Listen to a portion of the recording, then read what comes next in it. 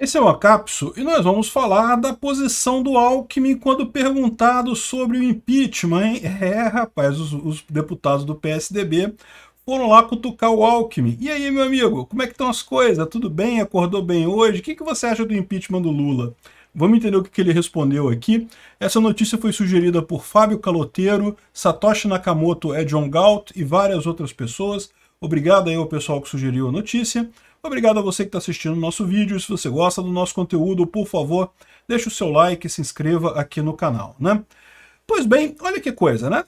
A situação do Lula está estranha, né? Está perigando aqui, a economia não está indo bem, o governo dele não tem apoio no Congresso, a situação está piorando sensivelmente com as... Cada vez que ele fala uma besteira no exterior, a imagem do Brasil fica mais suja um pouquinho. Então, no final das contas, é só natural que o pessoal fosse lá perguntar para o Alckmin o que, que, ele acha dessa coisa. Né? O que, que você acha aí, Alckmin? Que tal a gente começar a movimentar as coisas, né? E, pois bem, dizem que o Alckmin falou que o presidente é o Lula e nem quis conversar, não quis nem bater papo, nem na brincadeira falar isso, né?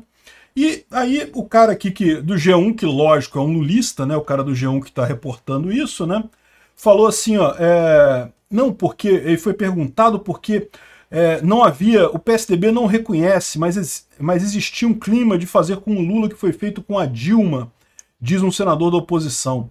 O parlamentar se refere ao fato de que Dilma Rousseff enfrentou um processo de impeachment e acabou afastada graças ao apoio do seu vice Michel Temer. Não, não, não. não. Quando Michel Temer resolveu apoiar o impeachment da Dilma, ela já estava quase caindo. Ele é que entrou ali na coisa para apoiar, mas ela já tá. A Dilma caiu por causa das enormes manifestações que foram feitas e por conta da política econômica dela muito ruim. Ela destruiu a economia brasileira completamente, né? E o Lula está no mesmo caminho. Por enquanto ainda não. Agora, esse é o problema que eu falo para vocês. Eu acho que ainda não está na hora do impeachment, infelizmente. Ah, o Lula já fez crime de responsabilidade? Já, já fez, já tem a pedalada lá do INSS já de 7 bilhões de reais, que já é uma pedalada fiscal, já dá para botar impeachment nele, mas é o que eu falo para vocês, é componente essencial do impeachment crise econômica. O pessoal tem que estar tá sentindo que o país está indo mal. Por quê? Porque, repara, a classe política prefere a estabilidade política, ela prefere ficar tudo quieto, deixa quieto, daqui a pouco acaba o governo, coisa e tal, né? Mas, se a economia começa a ir para o saco completamente, aí a coisa muda de figura. A minha visão é que a economia está indo para o saco, mas ainda não está a catástrofe que seria necessária para um impeachment do Lula. Né? Eu imagino que a gente vai ter essa chance mais ou menos em algum ponto do ano que vem. Mas vamos ver como é que a coisa vai caminhar. E aí é aquele negócio, se o Alckmin quer ou não quer, é melhor, menor dos problemas.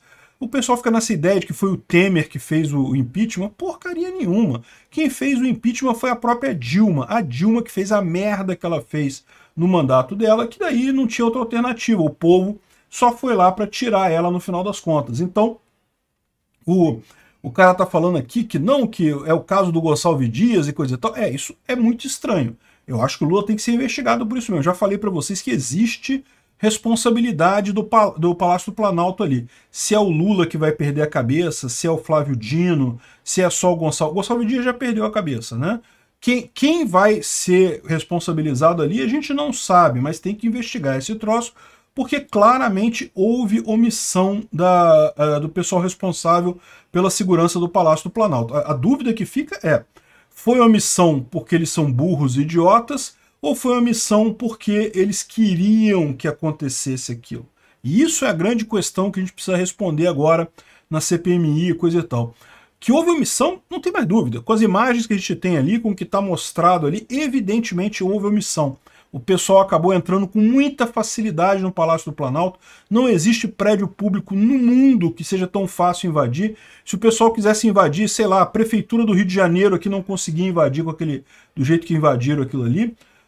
Agora, é, a questão é, essa, essa omissão foi por incompetência, negligência, imprudência, imperícia, ou foi por uh, foi de propósito? E aí que é a grande questão, né? Mas enfim, o Alckmin então falou que uh, ele não é mais um tucano, virou lulista. Tem gente falando esse papo. Não, porque o Alckmin agora é um lulista, que ele não vai querer fazer isso e coisa e tal.